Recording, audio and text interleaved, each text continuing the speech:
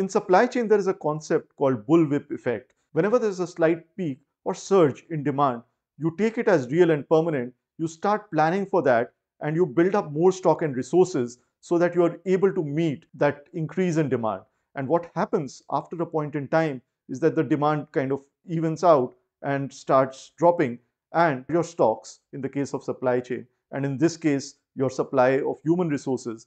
has become stocked and peaks only at a later stage. And it is at that stage that you realize that the demand has actually come down.